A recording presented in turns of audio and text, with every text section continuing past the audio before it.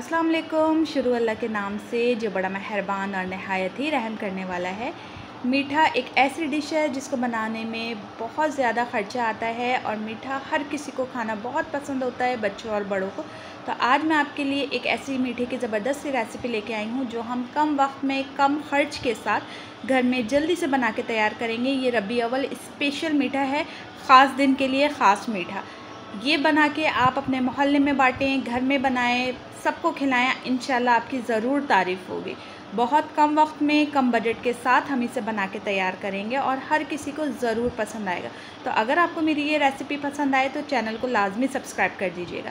चलते हैं रेसिपी की तरफ़। बिस्मिल्लाहिर्रहमानिर्रहीम। एक किलो दूध लिया था बॉईल करने के लिए रख दिया है। अच्छा दूध हमने फुल फैट लेना है, गाय या भैंस का दूध, डब्बे वाला नहीं लेना, ठीक है? एक कप मैंने इसमें यहाँ पे देखिए चीनी ऐड की है। अगर आपने चीनी ज़्यादा आप लोग खाते हैं तो फिर चीनी आप थोड़ी और ऐड कर सकते हैं। मैंने इसमें एक कप चीनी ऐड की है और उसके बाद अगेन मैंने इसको पकाने के लिए रख दिया था। दूध जैसे ही हमारा बॉयल हो जाएगा देन हमने क्या करना है, यहाँ पर देखिए एक फ्राइंग पैन लिया था, उसमें मैं, उसमें मैंने दो चम्मच ऑयल लिया है और ऑयल गर्म हो जाएगा तो हमने इसमें सवैयाँ डालनी है। सेमियाँ जो बाज़ार वाली होती है ना, बस वो हमने इसमें चार चम्मच सेमियाँ डाल के सेमियों को हमने ब्राउन करना है। ताकि इसकी अच्छी से स्मेल आ जाए और इस पर कलर भी आ जाए। दो मिनट में बस ये ब्राउन हो जाएँगी। इसके बाद हमने क्या करना है? देखिए, इसको हमने चलाते रहना है। मीडियम टू लो फ्लेम पे, तेज़ फ्लेम पे नहीं करना, वरना सेवियाँ हमारी जल जाएँगी। बस देखिए, यहाँ पे मैं सेवियों को ब्राउन कर रही हूँ। और अगर अभी तक आपने मेरे चैनल को सब्सक्राइब नहीं किया और आप मेरे चैनल पे न्यू हैं तो सबसे पहले आप मेरे चैनल को सब्सक्राइब कर लें और मेरी वीडियोस को लाजमी लाइक करके कमेंट किया करें। मुझे आपकी कमेंट का बहुत इंतज़ार रहता है, इससे पता चलता है आप लोगों का प्यार और मोहब्बत कि आप लोगों को मेरी वीडियोज़ कैसी लगती हैं। मैं इन आपके लिए आसान आसान सी वीडियोज़ लाती रहूँगी। तो देखिए, यहाँ पे सेमियाँ मेरी हो गई थी। अब मैंने क्या किया है, इन्हें उबलते हुए दूध में हमने बस सेमियों को ऐड करना है और बहुत एहतियात से, क्योंकि ये दूध उबल के भी बाहर आ सकता है तो इसलिए हमने बहुत एहतियात से यहाँ पे सेमियों को डाल के और बस हमने इसे पकाने के लिए रख देना है। हम इसे अगेन पाँच मिनट के लिए पकाएँगे ताकि हमारा दूध जो है वो गाढ़ा हो जाए। और अब देखिए, यहाँ पे मैं इसमें ड्राई फ्रूट ऐड कर रही हूँ। इसमें मैंने किशमिश ली है और यहाँ पे मैंने छोटी इलायची का पाउडर लिया था, आधा चम्मच और पिस्सा हुआ यहाँ पे मैंने खोपरा ऐड किया है और पिस्ते बादाम ऐड किए हैं। आप अपने अकॉर्डिंग कोई भी ड्राई फ्रूट ऐड कर सकते हैं इसमें। बस ये पकता रहेगा दूध यहाँ पे मेरा। अब मैंने क्या किया था, एक किलो दूध में से यहाँ पे मैंने आधा कप दूध अलग कर लिया था। उसमें मैंने वनीला कस्टर्ड, नॉर्मल कस्टर्ड जो हमारा वनीला कस्टर्ड पाउडर होता है, वो चम्मच, दो चम्मच मैंने इसमें ऐड किए हैं और इसको मिक्स करेंगे और बस इसको अच्छी तरीके से घोलेंगे कि इसके अंदर कोई लम्ब ना रहें।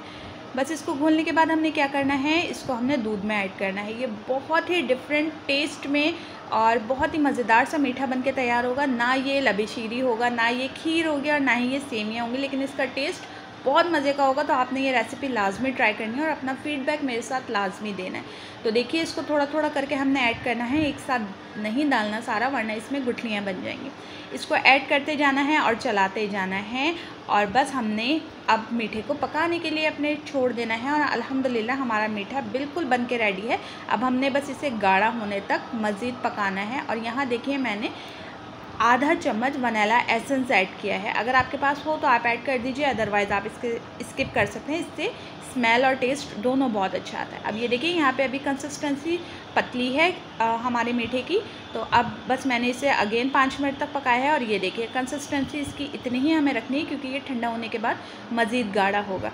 अब मैं आपको इसको सर्व करके दिखाती हूँ। बहुत ही मज़ेदार सा मीठा हमारा बन के रेडी है रबी अव्वल मीठा। और ख़ास दिन है, अल्हम्दुलिल्लाह, हम मुसलमानों के लिए। अल्लाह पाक सबको, हम सबको, जितने भी मुसलमान हैं, उन सब की इस दिन के सदक़े से तमाम परेशानियाँ, तमाम मुश्किल दूर करें और आप सबको मेरी तरफ़ से रबी अवल की बहुत बहुत मुबारक हो। तो ये देखिए, मीठा अल्हम्दुलिल्लाह हमारा रेडी है, स्पेशल। अब मैंने क्या किया है, बस जो ड्राई फ्रूट बचे थे, उसको हमने इस तरह डेकोरेट करना है। और अगर आपके पास चांदी का वर्क हो तो वो आप इस पर लगा दीजिए, नहीं हो तो आप स्किप कर दीजिएगा।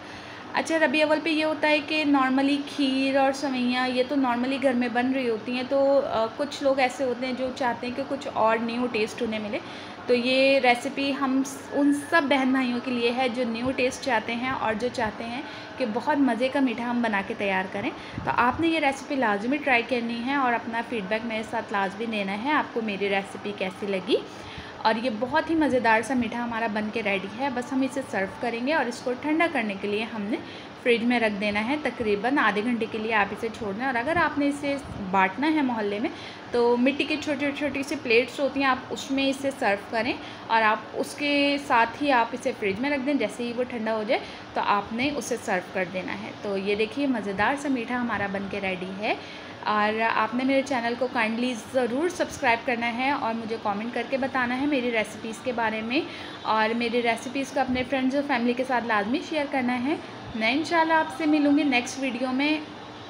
इंशाल्लाह जब तक आपने अपना बहुत ख्याल रखना है और मेरे चैनल को लाजमी सब्सक्राइब करके जाना है मैं ऐसे ही अच्छी अच्छी सी वीडियोस आप लोगों के लिए लेके आती रहूँगी जो बनाने में भी आसान हो उसमें ख़र्चा भी कम लगे और मेरी बहनें घर में ट्राई भी कर सकें। तो, तो मैं मिलूँगी आपसे नेक्स्ट वीडियो में अल्लाह हाफिज़।